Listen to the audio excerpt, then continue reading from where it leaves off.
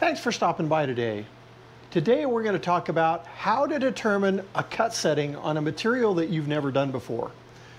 I've got some eighth inch Rowmark Duramark sign plastic that I've got to make some pretty large signs with today and I have not used this eighth inch material. I've uh, engraved and cut a ton of their 16th, material, uh, 16th inch material but I have not used this uh, eighth inch. It also has the 3M backing pre-applied um, that I'm gonna need and I know that's gonna add to our cut setting.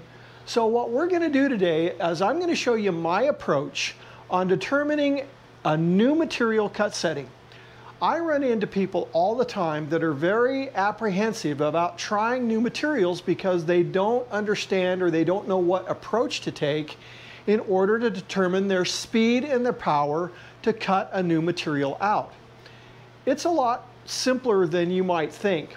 One of the things that I'm going to tell you is you should pick a power and stay with it. Don't change it. And today what we're going to do is since I know what my cut settings are for my 16th inch of this material and the power on that is 75%. So that's what we're going to use. I'm going to pick that power. I'm going to leave it alone. I'm not going to change it. And then what we're going to do is I know that the settings that I have for my 16th inch is, is not going to work with this 8th inch, but it gives me a place to start. And so what we're going to do is we're going to cut a series of squares just in this little corner. Uh, we're going to pick the 75% power. We're going to look at what our speed is for our 16th inch and it's going to have to be considerably slower because this is thicker material. Remember, we got to slow down to get that energy to go through this material. And before you know it, we're going to have our uh, settings for our new thickness of sign material. Once I determine that, I'm going to add that to my materials library so I've got it for in the future. I've got several different colors of this I've got to uh, engrave and cut out, so I want to make sure that I remember it. So just remember, don't try to adjust your speed and your power when you're trying to determine a new cut setting for a new material because you'll chase your tail. It's not easy to do. So pick a power. In this case, I've already got a setting uh, for 16th inch. It's 75% power. We're going to keep that power the same. And then we're going to just slow down the speed until we get a consistent dropout and one additional thing that's added is I've got 3M adhesive on the back of this that I'm not used to cutting. I haven't cut this Rowmark with the pre-applied uh, adhesive, so we, we've got to determine that. And once we do, then I can go forward with my engraved settings, those kind of things. You're going to see once we get into Lightburn, it's really pretty straightforward on how quickly you can determine what your cut setting is going to be for this. Leave your power alone, pick a power. Usually I pick between somewhere between 70 and 80%. It really doesn't matter depending on what size machine you have. Uh, and then just adjust your speed based on what you're seeing. If it hasn't cut through, you're gonna slowly drop that speed until you get a consistent dropout. If, uh, if it drops out, and you're getting maybe a little scorching around the edges, you can increase your speed a little bit and we're gonna dial in the sweet spot for this eighth inch Rowmark Duramark sign plastic. Let's go to Lightburn and we'll get started. Okay, to get us started, what we're gonna do is we're just gonna draw a one inch or three quarter inch square. I'm gonna use or, user origin down to absolute coordinates, go to user origin, gonna be up in the upper left hand corner. Um, I'm going to color it red because red is my cut setting so I can keep things consistent. I've gone over here to the material library. I've gone to my two color board. I've gone to the, the thickness that I normally cut, which is much uh, thinner than this. I've assigned its cut setting, which you can see is 60 millimeters per second at 75% power. Remember that I said before we're going to keep this power the same and I know that I'm going to have to drop this speed uh, to cut through that material that is twice as thick and also has that 3M adhesive on the back. So what we're probably going to do is just as a guess, and it's truly a guess, I'm going to come in here, I'm going to go ahead and cut this speed by half. So I'm going to start at 30 millimeters per second just because the material, sign material is twice as thick and that should get me in the ballpark. Remember that with sign material, you don't want to use high air. You want to keep it uh, with uh, low volume air. And the reason why you want to do that, if you use high volume air, it will take that color and wipe it on the side and you'll get streaking and just discoloration. It won't look clean. So with sign material, typically you want your low volume air on a Thunder, which means you're turning this off. And we're going to say okay. And so now our start setting to see if this is going to be enough to cut through our eighth inch Rowmark Duramark sign plastic with the 3M adhesive, and this is the ADA style, uh, is going to be 75% power at 30 millimeters per second, and that's where we're going to start. Now, the way I'm going to approach this is we'll start there and see what we get, and then we'll modify our settings based on what we see. Okay, we've got our first cut parameter loaded in our um, controller. It's at uh, 30 millimeters per second at 75% power. And this may do it, we'll just have to see. Um, what I really wanted to cover today is just the approach on uh, how you do this. And so I've got this set up now, uh, just up in this upper corner. And uh, what we're gonna do is we're gonna go ahead and give this a try and see if she cuts out.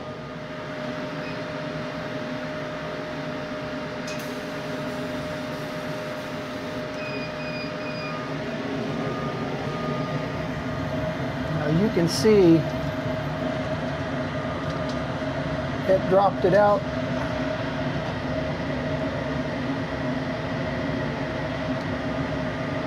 Got some residue on it.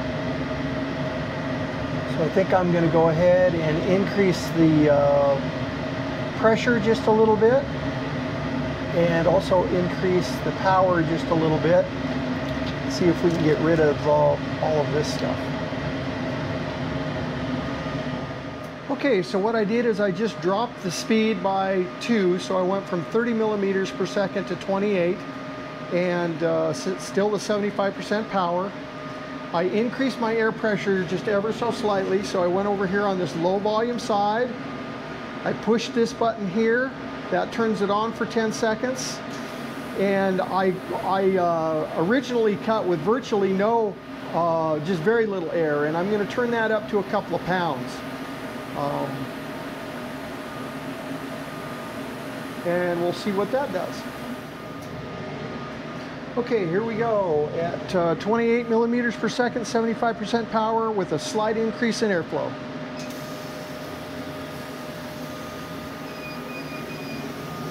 Wow, huge difference in uh, what's going on here as far as backlash. You can see that I don't, I don't have any um, spray. Let's see if it drops out. I'm going to move this down, pull this out, drops right out.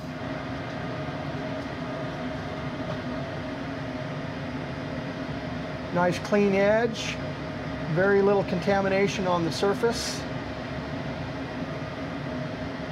I think that's going to be our, our cut setting.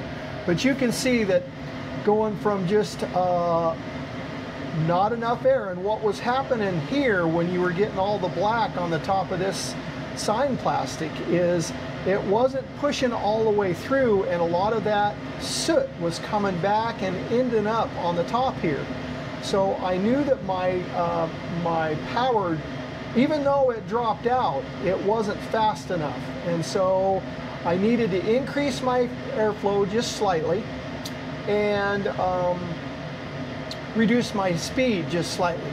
Now in this particular case, because it's got a black side, it's gonna engrave from yellow to black. You could probably use more air and get away with it. But if this is like I've got some red and white sign material, and if you have a white edge, if you use too much air, what it does is it wipes that uh, red color down on the side of this white edge. And so here you could get away with a little bit more air, but on that red and white sign material, I'm not gonna be able to do that. So I'm gonna have to, I'm gonna have to use my power and not my air to make sure that I don't have a bunch of contamination like this.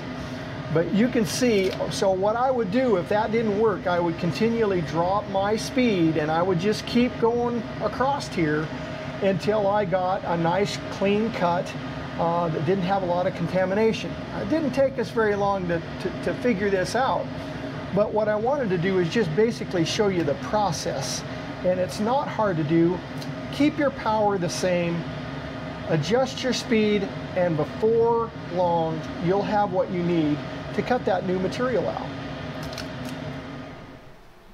One other thing that I'd like to show you that a lot of people aren't aware of, and I use this feature all the time. So we just established our cut setting at 28 millimeters per second at 75% power, and that's all well and good, but I've got a little bit more information that I wanted to make sure I save. And so what I'm gonna do is I'm gonna come up here to the File Show Notes section, and I've put a note in here, 3, uh, 3 PSI airflow for yellow, uh, yellow to black eighth inch material.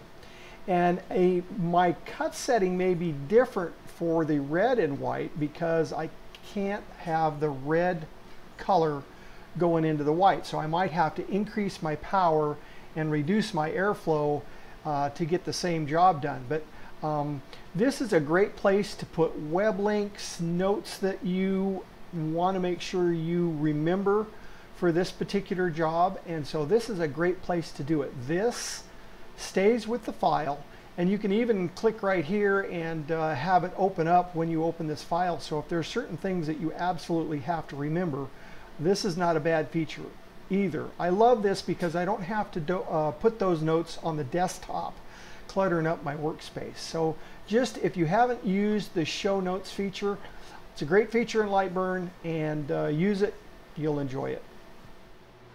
Well, as you can see, following that process, it really doesn't take too much time to determine what your cut setting is going to be on new material. Um, keep one parameter the same. I prefer to keep my power the same and adjust my speed, but you may want to do the opposite. The bottom line is that I wanted to show you the steps that you go through to establish new cutting criteria for materials that you might not be used to.